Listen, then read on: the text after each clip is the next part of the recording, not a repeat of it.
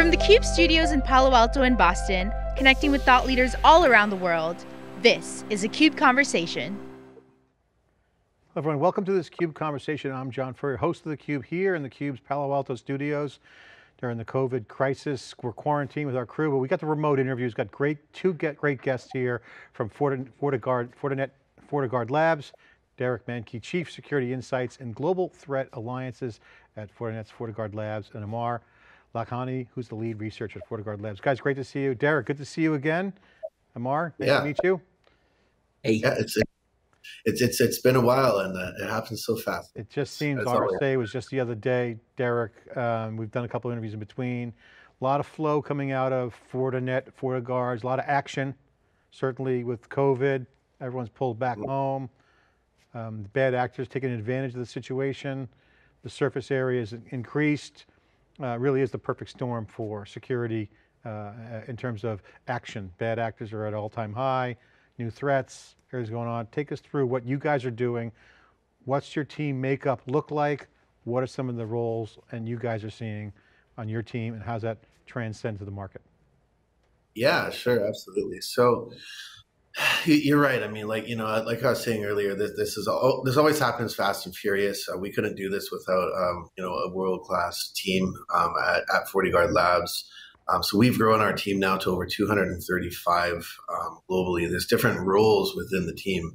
You know, if we look if we look uh, 20 years ago, the roles used to be just very pigeonholed into, say, antivirus analysis, right? But now we have to uh, account for when, we're looking at threats, we have to look at that growing attack surface. We have to look at where the, where are these threats coming from? How frequently are, are they hitting? What verticals are they hitting? Uh, you know, what regions? Uh, what are the particular techniques, tactics, procedures? You know, so we have um, threat. This is the world of threat intelligence, of course, contextualizing that information, and it takes different skill sets on the back end. And a lot of people don't really realize the behind the scenes, uh, you know, what's happening. Um, and there's a lot of magic happening, not only from what we talked about before in our last conversation, from artificial intelligence and machine learning that we do at FortiGuard Labs and automation, uh, but the people. And so today we want to focus um, on the people and, and talk about uh, you know how um, on the back ends we approach a particular threat. Uh, we're going to talk the, the world of ransom and, and, ransomware, look at how we dissect threats, how we correlate that, how we use tools in terms of threat hunting as an example, and then how we actually take that. Uh, to that last mile and, and make it actionable so that you know customers are protected how we share that information with key threat intel sharing partners. Um, but again, it comes down to the people. We never have enough people uh, in the industry. There's a big shortage, as we know, um, but it, it's a really key critical element. And, and we've been building these training programs uh, for you know over a decade uh, within FortiGuard Labs. So, you know, you know, John, th- this, this to me is why exactly why I always say, and I'm sure Aamir can share this too, that there's never a, a, dull day in the office. I know we hear that all the time, but I think today, um, you know, all the viewers will really get a, a, an idea of why that is because it's, it's, very dynamic, and on the back end, there's a lot of things that we're doing uh, to, to get our, our our hands dirty with this. You know, the old expression in startup land, Silicon Valley, is if you're in the arena, that's where the action is, and it's different than sitting in the stands watching the game. You guys are certainly in that arena and you, we've talked and we cover your um, your threat report that comes out um, frequently. Yep. But for the folks that aren't in the weeds on all the nuances of security, can you kind of give the 101 ransomware, what's going on, what's the state of the ransomware situation?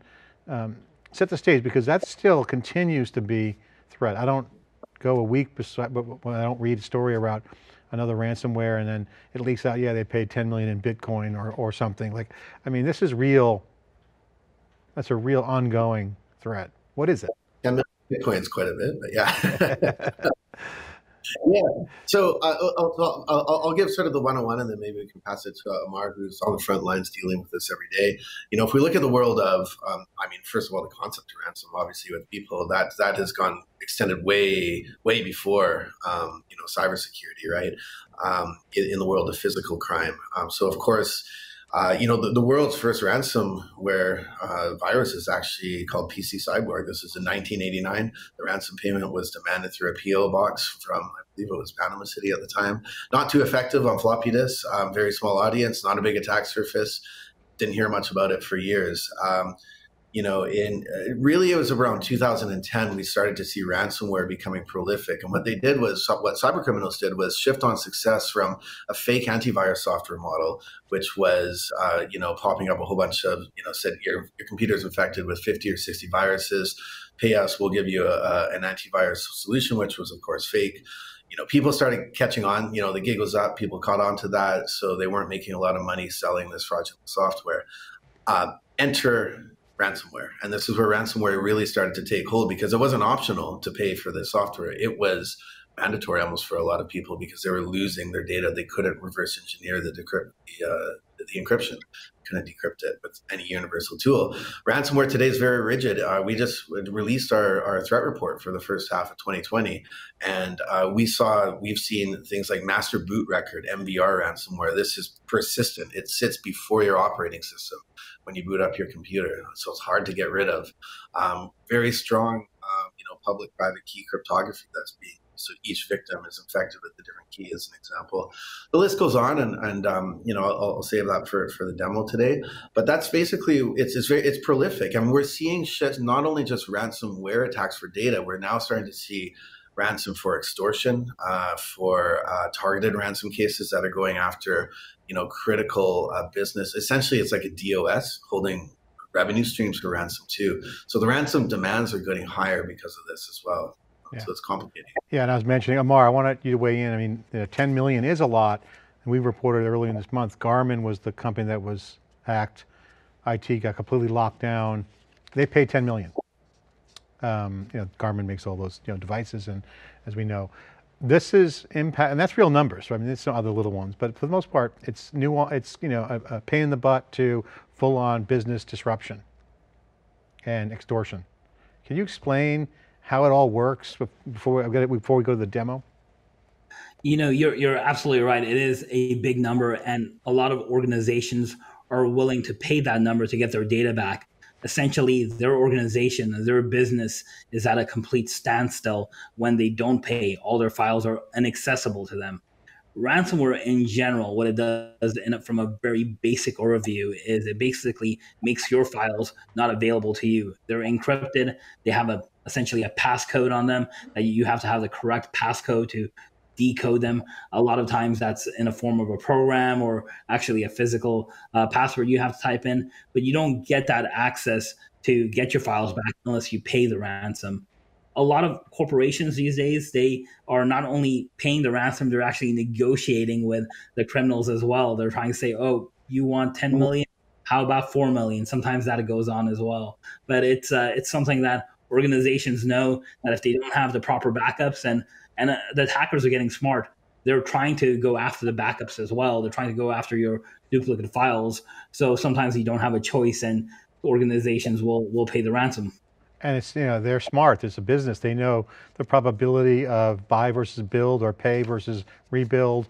So they kind of know where to attack. They know the, the tactics, they know who's vulnerable. It's not like just some kitty script thing going on. This is real sophisticated stuff. It's, and it's, and it's highly targeted. Can you talk about some use cases there and what goes on with that kind of uh, attack? Absolutely. The cyber criminals are doing reconnaissance. They're trying to find out as much as they can about their victims. And what, what happens is they're trying to make sure that they can motivate their victims in the fastest way possible to pay the ransom as well. Uh, so there's a lot of attacks going on. We usually, what we're finding now is ransomware is sometimes the last stage of an attack. So an attacker may go into an organization. They may already be taking data out of that organization. They may be stealing customer data, PII, which is personal identifiable information such as social security numbers or, or driver's licenses or credit card information. Once they've done their entire attack, once they've gone everything they can, a lot of times their end stage, their last attack is ransomware and they encrypt all the files on the system and try and try and motivate the victim to pay as fast as possible and as much as possible as well. You know, it's interesting. I was talking to my buddy the other day. It's like casing the joint. They just, they check it out. They do their recon, reconnaissance. They go in and identify what's the move, best move to make, how to extract the most out of the victim, in this case, the target. Um, and it really is, I mean, it's, it's just to go on a tangent, you know, why don't we have the right to bear our own arms? Why can't we fight back? I mean, at the end of the day, Derek, this is like, who's protecting me?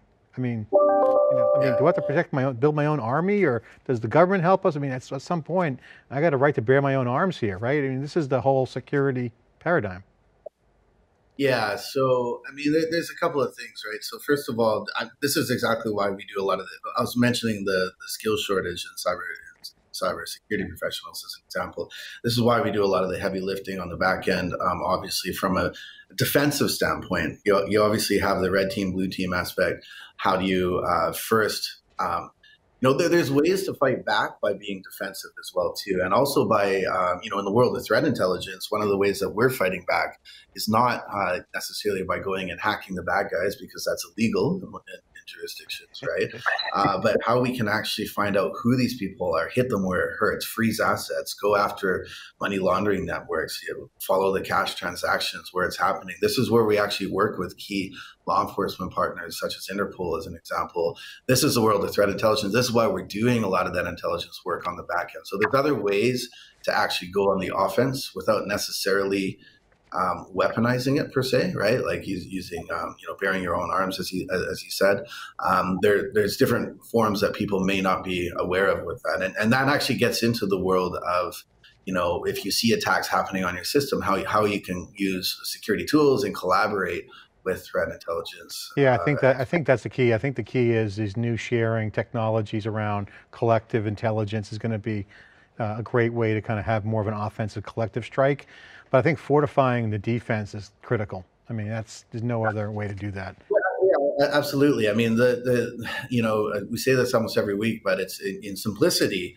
Our goal is always to make it more expensive for the cyber criminal to operate, and there's many ways to do that. Right? You can be you can be a pain to them by by having a very rigid, hardened defense. That means that if if it's too much effort on their end, I mean, they have ROIs in their in their sense, right? If too much effort on their end, they're going to go knocking somewhere else. Um, there's also, um, you know, uh, as I said, um, things like disruption. So ripping infrastructure offline that cripples them. Yeah, it's whack a mole. They're going to set up somewhere else. But then also going after people themselves. Um, again, uh, the, the, the cash networks, these sorts of things. So it's sort of a holistic approach between anything. Hey, it's an arms race. Better AI, better cloud scale always helps. You know, it's a ratchet game. Okay, Aamir, I want to get into this video. It's a ransomware four minute video I'd like you to take us through, as you're the lead, you're the lead researcher, take us through this video and uh, explain what we're looking at. Let's roll the video. All right, sure. Uh, so what we have here is we have the victim's desktop over here. Uh, we have a couple of things on this victim's uh, desktop. We have a, a, batch file, which is essentially going to run the ransomware. Uh, we have the payload, which is the code behind the ransomware. And then we have uh, files in this folder, and this is where you would typically find user files. In a, a real world case, this would be like your Microsoft Word documents or your PowerPoint presentations. Over here, we just have a couple of text files uh, that we've set up. We're going to go ahead and run the ransomware. And uh, sometimes attackers, what they do is they disguise this, like they make it look like a like important Word document, they make it look like something else. But once you run the ransomware, you usually get a ransom message. And in this case, the ransom message says your files are encrypted. Uh, please pay this uh, money to this Bitcoin address that obviously is not a real Bitcoin address. Uh, usually they look a little more complicated, but this is our fake Bitcoin address. But um, you'll see that the files now are encrypted. You cannot access them. Uh, they've been changed. And unless you pay the, the ransom, uh, you don't get the files. Now, as researchers, we, we see files like this all the time. We see ransomware all the all the time. So we use a variety of tools, internal tools, custom tools, as well as open source tools. And what you're seeing here is an open source tool. It's called the Cuckoo Sandbox, and it shows us the behavior of the ransomware. What exactly is the ransomware doing? In this case, you can see just clicking on that file launched a couple of different things. It launched basically a command executable, a PowerShell. It launched our Windows shell, and then it did things on the file. It basically had registry keys. It had uh, network connections. It uh, changed the disk. So this kind of gives us a behind the scenes look at, at, all the processes that's happening on the ransomware. And just that one file itself, like I said, does multiple different things. Now, what we want to do as researchers, we want to categorize this ransomware into families. We want to try and determine the actors behind that. So we dump everything we know in the ransomware in these central databases and then we mine these databases. What we're doing here is we're actually using another uh, tool called Maltego, and uh, use custom tools as well as uh, commercial and open source tools. But but this is a uh, open source and commercial tool. But what we're doing is we're basically taking the ransomware and we're asking Maltego to look through our database and say like, do you see any like files or do you see any types of incidences that have similar characteristics? Because what we want to do is we want to see the relationship between this one ransomware and anything else we may have in our system, because that helps us identify maybe where the ransomware is connecting to, where it's going to, other processes that it may be doing. In this case, we can see multiple IP addresses that are connected to it. So we can possibly see multiple infections. We can block different uh, external websites if we can identify a command and control system. We can categorize this to a family. And sometimes we can even categorize this to a threat actor that has claimed responsibility for it. Uh, so it's essentially visualizing all the connections and the relationship between one file and everything else we have in our database in this example. Of course, we I put this in multiple ways. Uh, we can uh, save these as reports as PDF type reports or uh, you know usually HTML or other searchable data that we have back in our systems. And then the cool thing about this is this is available to all our products, all our researchers, um, all our specialty teams. So when we're researching botnets, when we're re- researching file-based attacks, when we're researching um, you know IP reputation, we have a lot of different IOCs or indicators of compromise that we can correlate where attacks go through and maybe even detect new types of attacks as well. So the bottom line is you got the tools using combination of open source and commercial products to look at the patterns of all ransomware across your observation space. Is that right? Exactly. I showed you like a very simple demo. It's not only open source and commercial, but a lot of it is our own custom developed products as well. And when we find something that works, that logic, that that technique, we make sure it's built into our own products as well. So our own customers have the ability to detect the same type of threats that we're detecting as well. At FortiGuard Labs, the intelligence that we acquire, that product, that product of intelligence, gets consumed directly by our products. All right, so take me through what, what's actually going on, what it means for the customer. So FortiGuard Labs, you're looking at all the ransomware, you're seeing the patterns. Are you guys proactively looking? Is it, is it you guys are researching? You look at something pops on the radar. I mean, take us through what is what what what goes on, and then how does that translate into uh, a customer notification or impact? So, so yeah, John, if, if you look at a, a typical life cycle of, these attacks, there's always proactive and reactive that's just the way it is in the industry, right? So of course, we try to be as proactive as possible.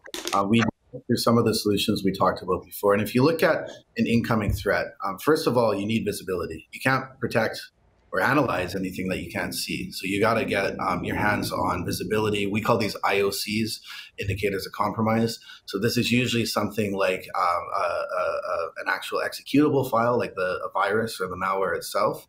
Um, it could be other things that are related to it, like websites that could be hosting the malware, as an example. So once we have that seed, we call it a seed, we can do threat hunting from there. So we can analyze that right? If, if it's a, a, piece of malware or a botnet, we can do analysis on that and discover more malicious things that this is doing. Then we go investigate those malicious things. And we really, you know, it's similar to the world of, of CSI, right? Yeah. These, these different dots that they're connecting. We're doing that at hyperscale. Um, and we use that through these tools that Aamir was talking about. So it's really a life cycle of, of getting, uh, you know, the malware incoming, seeing it first, um, analyzing it, and then uh, doing action on that, right? So it's sort of a three step process. And the action comes down to what Aamir was saying, waterfalling that to our customers so that they're pr- uh, protected. But then in tandem with that, we're also going further and um, sharing it, if, if, if applicable, to say law enforcement partners, um, other yeah. threat intel sharing partners too. And um, it's not just humans doing that, right? So the proactive piece, again, this is where it comes to artificial intelligence, machine learning. Um, there's a lot of cases where we're automatically doing that analysis without humans. So we have AI systems that are analyzing and actually creating protection on its own too. So it's yeah. it's uh, quite interesting that way. It's interesting. At the end of the day, you want to protect your customers, and so this renders out. If I'm a Fortinet customer across the portfolio, the goal here is protect them from ransomware, right? That's the end game. Yeah, and that's a very important thing when you start talking these big dollar amounts that we are talking earlier. When it comes to uh, the damages that are done from ransom attacks. Yeah, I mean, yeah. I mean, not only is it good insurance, it's just good to have that fortification. All right, so Derek, I got to ask you about the term "the last mile" because, you know, we were before we came on camera. You know, I'm I'm I'm a bandwidth junkie. I always want more bandwidth. So, the last mile used to be a term for last mile to the home, where there was telephone lines. Now it's fiber and Wi-Fi. But what does that mean to you guys in security? Is that does that mean something specific? Yeah, yeah, abs- absolutely. Yeah, the easiest way um, to describe that is actionable, right? So, uh, one of the challenges in the industry is we live in a very noisy industry when it comes to um, cybersecurity. And what I mean by that is because of that growing attack surface, um, and you know, you have these different attack vectors. You have attacks not only coming in from email, but websites from you know DOS attacks. There's there's a lot of volume that's just going to continue to grow because of the world of 5G and OT. Um, so what ends up happening is when you look at a lot of security operations centers for customers, as an example, um, there are it's very noisy. It's um, you can guarantee almost every day you're going to see some sort of probe, some sort of attack activity that's happening. And so what that means is you get a lot of detection events, a lot of logs, and when you have this worldwide shortage of security professionals, you don't have enough people to process those logs and actually start to uh, say, hey, this looks like an attack. I'm going to go investigate it and block it. So this is where the last mile comes in because a lot of the times that you know these logs they, they light up like Christmas, right? I mean, there's a lot of events that are happening. How do you prioritize that? How do you automatically add action? Because the reality is, if it's just humans doing it, uh, that last mile is often going back to your bandwidth terms. Yeah. Um, there's too much too much latency, right? Yeah. So, so how do you reduce that latency? That's where the automation, the AI machine learning comes in to, to solve that last mile problem, to automatically add that protection. It's especially important because you have to be quicker than the attacker. Um, it's an arms race, like you said, right? Know, I think what you guys do with FortiGuard Labs is super important, um, not only for the industry, but for society at large, as you have kind of all this, you know, shadow, cloak and dagger kind of attack systems, whether it's national security, international, or just for you know, you know, mafias and racketeering and, and the bad guys. Can you guys take a minute and explain the role of FortiGuard specifically and, and why you guys exist? I mean, obviously there's a commercial reason. You bolt on onto Fortinet, that you know, trickles down into the products. That's all good for the customers. I get that, but there's more to FortiGuard than just that. Can you guys talk about this trend in the security business because it's very clear that there's a, you know, a, a collective sharing culture developing rapidly for societal benefit. Yeah. Can you take a minute to explain sure. that? Yeah, sure. I'll, I'll, give my thoughts. Mark, you can uh, add some, some color to that too. Uh, see, you know, from, from my point of view, I mean, there, there's various functions. So we've just talked about that last mile problem. That's the the, the commercial aspect. We create uh, through FortiGuard Labs, FortiGuard services that are dynamic and um, updated to security products because you need intelligence products to be able to protect against intelligent attacks. That's just a defense. Again, going back to how can we take that further? I mean, we're not law enforcement ourselves. Um, we know a lot about the bad guys and, and, the actors because of the intelligence work that we do. Um, but we can't go in and, and prosecute. Um, we can share knowledge and we can train prosecutors, right? This is a big challenge in the industry. A lot of prosecutors don't know how to take cybersecurity courses to court. And because of that, a lot of these cyber criminals reign free. And that's been a big challenge in the industry. So, uh, you know, this has been close to my heart. Over 10 years, I've been building a lot of these key uh, relationships between private public sector as an example but also private sector things like cyber threat alliance we're a founding member of the cyber threat alliance we have over 28 members in that alliance. And it's about sharing intelligence to level that playing field because attackers roam freely. Um, what I mean by that is there's no jurisdictions for them. Cybercrime has no borders. Um, they can do a million things uh, wrong and they don't care. We do a million things right, one thing wrong, and it's a challenge. So there's this big collaboration. This is a big part of FortiGuard why it exists too, is to make the industry better, to to you know work on protocols and automation and and really fight fight this together while remaining competitors. I mean, we have competitors out there, of course, um, and so it, it comes down to that last mile problem. John is like we can share intelligence within the industry, but it's only intelligence is just intelligence. How do you make it useful and actionable? That's where it comes down to technology integration and Aamir, what's your take on this um, societal benefit? Because, you know, I've been saying since the Sony hack years ago that, You know, when you have nation states, that if they put troops on our soil, the government would respond. Um, but yet virtually they're here and the private sectors defend for themselves. There's no support. So I think this private public partnership thing is very relevant. I think it's ground zero of the future build out of policy because, you know, we pay for freedom. Why don't we have cyber freedom if we're going to run a business? Where's our help from the government? We pay taxes. So again, if a military showed up, you're not going to see, you know, companies fighting the foreign enemy, right? So again, this is a whole new changeover. What's your thought? It really is. You, you have to remember that cyber attacks puts everyone on an even playing field, right? I mean, you don't, now don't have to have a country that has invested a lot in weapons development or nuclear weapons or anything like that, right? Anyone can basically come up to speed on uh, cyber weapons as long as they have an internet connection. So it, it evens the playing field, which makes it dangerous, I guess, for uh, our, our, enemies. Uh, you know, but absolutely, I think a lot of us, you know, from a personal standpoint, a lot of us have seen researchers have seen organizations fail through cyber attacks. We've seen the frustration. We've seen like, you know, besides organization, we've seen people like just like grandmas lose their pictures of their, uh, you know, of their loved ones because they, they can't, they've been attacked by ransomware.